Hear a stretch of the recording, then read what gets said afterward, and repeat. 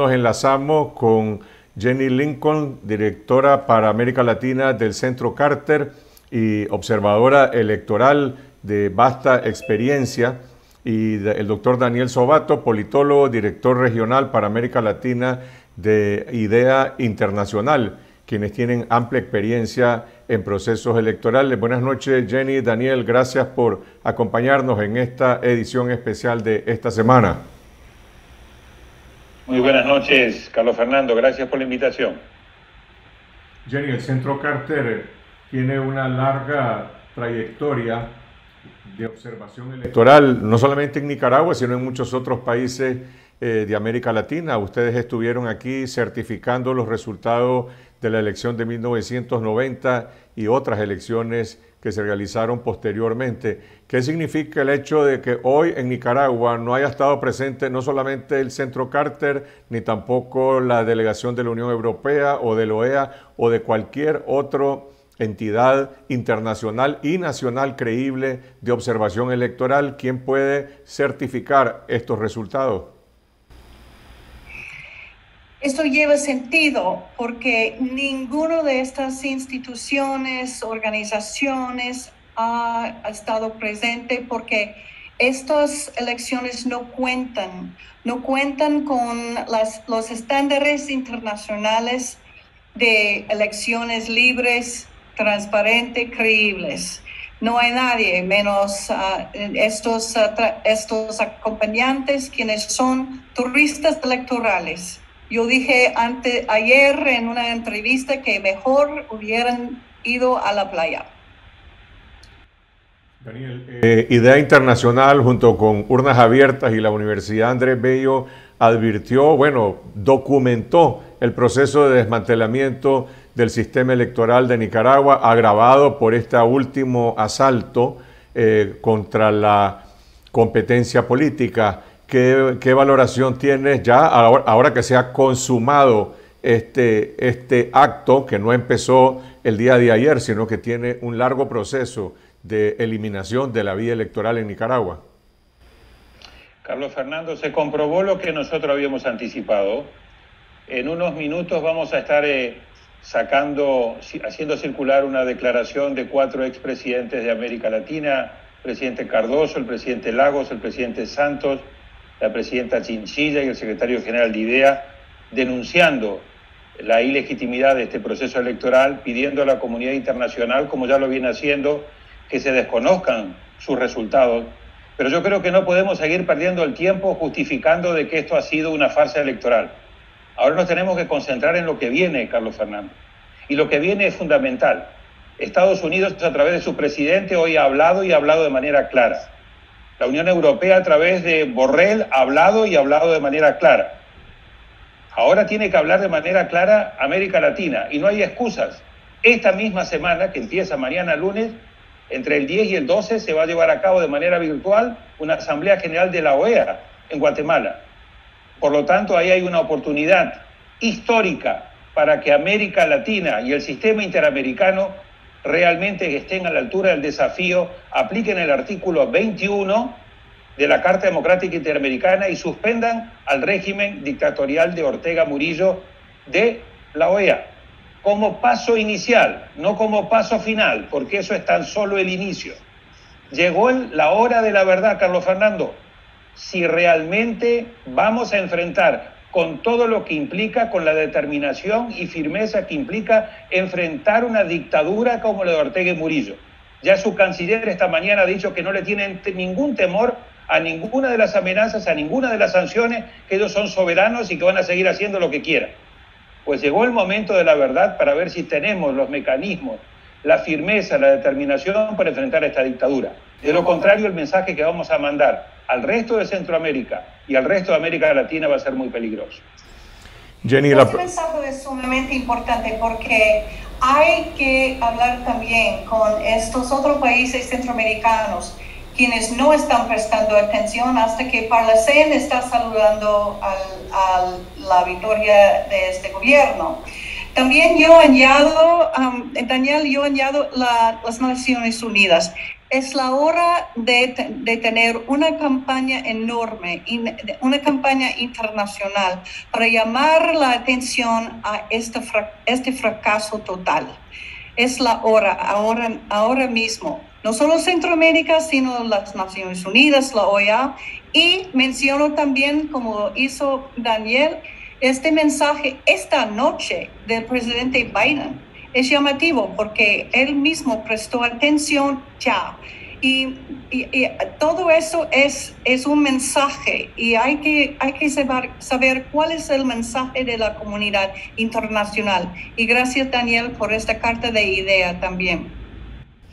Daniel, hoy se conoció, hoy se conoció otro mensaje que lo hizo circular el propio secretario general de la OEA, Luis Almagro, recibiendo al nuevo embajador Macfield en la OEA, un, gesto de, no sé cómo se puede calificar eso, si acaso se cabe dentro de la cortesía diplomática que haya ocurrido el día de hoy y se haya divulgado el día de hoy cuando precisamente en Nicaragua el gobierno que representa este embajador está perpetrando esta farsa electoral, tiene preso a 150 personas en el país y a todos los líderes de la, de la oposición. ¿Cómo se puede interpretar esto en la víspera de la Asamblea General de la OEA que se va a llevar a cabo en Guatemala?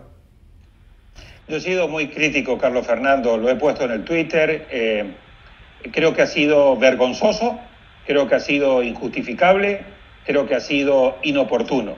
Si había un día en virtud del cual el secretario general no debía sacar el tuit que sacó hoy con las fotos que sacó, era cuando se estaba precisamente asesinando a la democracia nicaragüense a través de esta farsa electoral.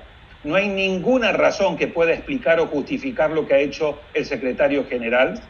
No creo que haya ninguna razón que pueda explicar este, semejante, semejante actitud vergonzosa, vuelvo, vuelvo a señalar, en un momento donde toda la comunidad internacional, empezando por el presidente Biden, que yo creo que hay que realmente felicitar y aplaudir, ha sido el primero que hoy por la tarde ha salido con un comunicado muy claro y luego la Unión Europea. Ahora le corresponde a América Latina, pero también esperamos que el secretario general esté a la altura del desafío y que realmente podamos realmente dejar de lado este tema, porque fíjate lo que dice Jenny. El Parlacén sacó otra declaración vergonzosa hoy, aplaudiendo estas, estas elecciones. El BCE sigue financiando a esta dictadura de verdad llegó el momento de que tenemos que decir quiénes están a favor de la democracia y quiénes están con la dictadura. Por eso hablo de que llegó el momento de la verdad. Acá ya no hay tiempo para hacerse ni los distraídos, ni los de buenas intenciones, ni los débiles, ni nada. Este es un momento muy importante para toda América Latina y América Latina, incluido México, que siga absteniéndose, incluido Argentina, que siga absteniéndose, incluido Honduras, que siga absteniéndose, incluido Guatemala, que se siguió absteniendo en la última resolución, tienen que ver de qué lado están. Si están con la dictadura o si están con la democracia. Estar insistiendo que los presos políticos tienen que estar libres. Eso es el primer paso. No hay excusa ahora. No son opositores para una elección. No hay excusa. Eh, hay que insistir en este momento por la liberación de esos presos políticos. Hoy día, mañana 8 de noviembre. Preso político, Carlos Fernando, no puede ser utilizada como una moneda de cambio como parte de una negociación en el cual el régimen quiera entregar ciertos presos políticos para tener ciertas concesiones. Eso es requisito sine qua non at inicio para empezar cualquier proceso de negociación y yo estoy totalmente de acuerdo con Jenny. O sea, eh, hay que empezar por ahí, pero no puede ser utilizado como una moneda de cambio para ninguna, ninguna negociación que esté basada en el intercambio de presos políticos. Consignar en este programa a propósito de los distintos países que se están pronunciando que el gobierno de Costa Rica, el gobierno del presidente Carlos Alvarado, se pronunció hace unos minutos claramente diciendo Costa Rica no reconoce los resultados de esta elección y también le demanda al gobernante de Nicaragua que proceda de inmediato a la liberación de todos los presos políticos. Si la, si la corriente mayoritaria en América Latina y también en Europa apunta en esa dirección de decir, estas elecciones no son creíbles, no son legítimas, por lo tanto no se les otorga reconocimiento. ¿Qué consecuencias tiene eso, Daniel? Eh, ¿Significa eso acaso una ruptura de relaciones diplomáticas o significa que el gobierno que desconoce los resultados de esta elección se obliga a tomar otra clase de acciones para ejercer, no sé, presiones o acciones en dirección a buscar cómo restituir eh, el proceso democrático y las libertades en Nicaragua? En el, en el, comunicado, en la declaración que vamos a circular ahora, firmada por los cuatro expresidentes y el secretario general de la IDEA, proponemos una serie de medidas y de acciones, empezando precisamente por denunciar estas elecciones, que son unas elecciones ilegítimas, sin credibilidad, pidiendo que no se reconozcan sus resultados, pidiendo la liberación inmediata de todos los presos políticos, pidiendo la restauración del Estado de Derecho y el restablecimiento del orden constitucional y el fin del Estado policiaco, poner fin y cese a toda la represión que tú has sido víctima y sigues siendo en materia de libertad de expresión y el acoso a los periodistas, lo mismo que a los defensores en materia de derechos humanos, plena vigencia de los derechos humanos y darle la oportunidad, aunque Jenny dice que Ortega no, no cumple eh, con su palabra, creo que hay que dar una oportunidad porque no hay otra opción en este momento para si se puede restablecer una nueva mesa de negociación con objetivos muy claros,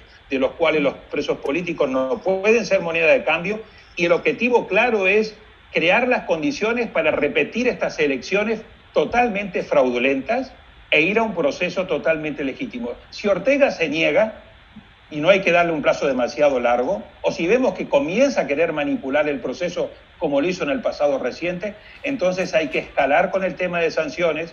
Ojalá Biden firme rápidamente el acta Renacer, porque ahí hay una buena cantidad de medidas para irle imponiendo. Hay que arrinconarlo hay que aumentarle el costo de permanecer en el poder para obligarlo a negociar. Pero va a depender muchísimo de la capacidad que tenga, por un lado, la comunidad internacional, pero tengamos en cuenta que nunca vamos a derrotar una dictadura únicamente desde la comunidad internacional.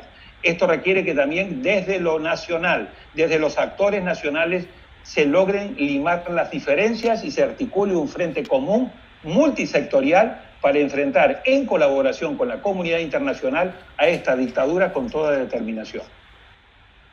Han hablado ustedes de una posible negociación. Solo quiero llamar la atención al hecho de que en Nicaragua hubo dos diálogos nacionales, uno en 2018 y otro en 2019, y el de 2019 tuvo dos testigos internacionales, un delegado de la OEA, el señor Rosadía, y el delegado del Vaticano, Monseñor Valdemar Sommertag. En ese diálogo se llegó a acuerdo y el canciller Denis Moncada, ese mismo que el día de hoy dijo que no le importa al gobierno de Nicaragua la reacción de la comunidad internacional eh, por anular las elecciones en el país, suscribió un acuerdo con los miembros de la Alianza Cívica por la Justicia y la Democracia para restablecer todas las libertades democráticas en el país, todos los derechos constitucionales y suspender el Estado policial. Hoy Cuatro, por lo menos, de los firmantes de ese acuerdo por la Alianza Cívica están en la cárcel. Juan Sebastián Chamorro, José Adán Aguerri, José Palé, Max Jerez, todos están en la cárcel. Y el acuerdo nunca se cumplió. La pregunta es, ¿qué puede esperar el pueblo nicaragüense de una eventual negociación y del rol de la comunidad internacional como testigo y garante cuando todo el mundo sabe de que Ortega en el primer diálogo lo terminó masacrando a la población, el segundo llegó a un acuerdo y no cumplió. ¿Qué puede hacer la comunidad internacional realmente para apoyar eh, que se cumplan los acuerdos? En este momento no tengo mucha confianza en, en una propuesta de negociaciones, no por no ser una cosa buena, una idea buena, es que ahora, después de, de hoy, ¿Cuál es la, la inspiración que Ortega va a tener para volver a la mesa de negociaciones? Yo creo que eso va a tardar hasta que él siente una presión que viene de dentro y de fuera. Que eso no va a pasar en, en esos días que van a, a llegar en un tiempo corto. ya este, este tema lo hemos hablado contigo.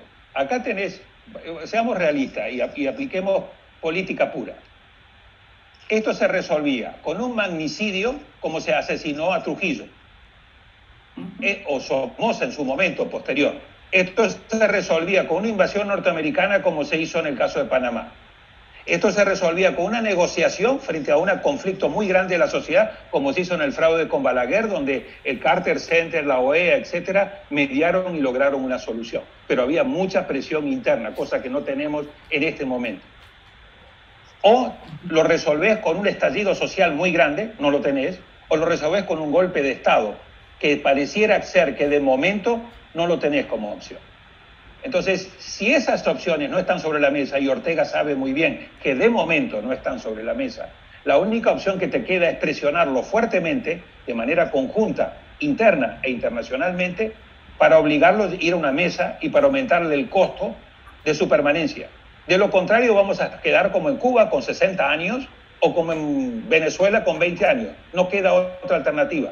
Por eso hay que ser muy realistas que estamos enfrentando un nuevo tipo de autoritarismo que lleva mucho tiempo contarlo. O sea, esto no se está de manera rápida si no le pones toda la presión. Y hasta ahora la comunidad internacional, particularmente la OEA y particularmente América Latina, y particularmente su secretario general, no han estado a la altura del desafío y han dejado Irse consolidando. Pero empresarios, ciertos partidos políticos que siguen jugándole el juego, el partido, el PLC, y también ciertos otros actores. Entonces, aquí hay que desmontar esta complicidad. Y esperemos también que el Papa, que está muy en silencio, la carta que acaba de recibir hace 24, 48 horas de los familiares de la víctima, lo motiven para que él también, no la iglesia que lo está haciendo, sino el Papa, para que también se active y busque presionar al régimen para buscar una salida negociada. Si no, no vamos a salir fácil de esto. Están al tanto involucrados como observadores de los procesos electorales que se están llevando a cabo en América Latina en este mes de noviembre, bueno, en Honduras, en Chile, en eh, Argentina, eh, Venezuela, en algunos son elecciones presidenciales, en otros son elecciones eh, regionales. ¿Qué implicaciones tiene el hecho de que en Nicaragua se lleve a cabo una elección como esta? O mejor dicho, una votación, una farsa electoral. ¿Qué resonancia tiene esto para el resto de países de América Latina y para las organizaciones que observan estos procesos? Ustedes tienen presencia en algunos de estos países que estoy mencionando. Jenny. Bueno, eso sí, es algo histórico. Nosotros estábamos hablando, no hay otra, otro ejemplo en, en la historia.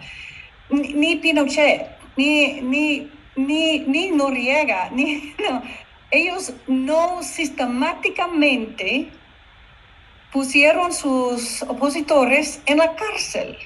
Entonces, ni aquí en Venezuela, donde estoy en este momento.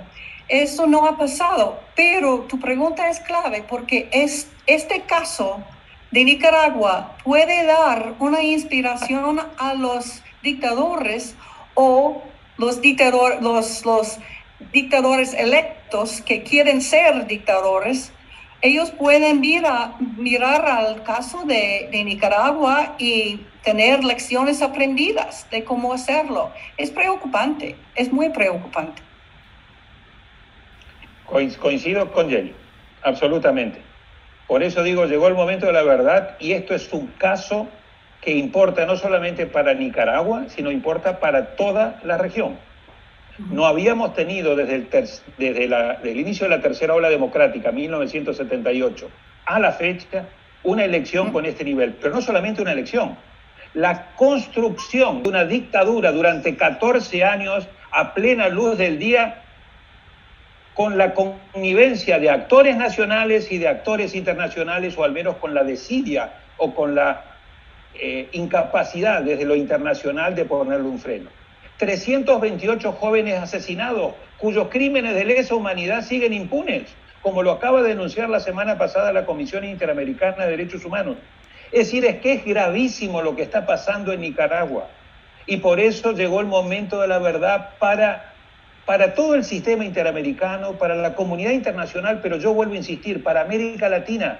América Latina no puede seguir jugando de manera irresponsable a un tema de izquierda o derecha. Esto no tiene nada que ver con izquierda y derecha. Esto no tiene nada que ver con injerencia en los asuntos internos. Esto tiene que ver o dejamos que se consolide una dictadura familiar o la enfrentamos con todos los recursos y todas las medidas para demostrarle de que no hay carta de impunidad en la región. Y coincido con Jenny, de lo que hagamos en Nicaragua puede tener efectos muy positivos, luces rojas para otros, o efectos muy negativos, luces verdes, para que otros se animen y digan, si Ortega puede hacer lo que quiere y actuar como un sultán dentro de su país, pues yo también voy a hacer lo mismo. Imagínate el mensaje que esto manda a Venezuela, a El Salvador y a muchos otros países. Muchas gracias, Daniel Sobato, director regional de IDEA Internacional en América Latina, Jenny Lincoln, directora también para América Latina del Centro Carter.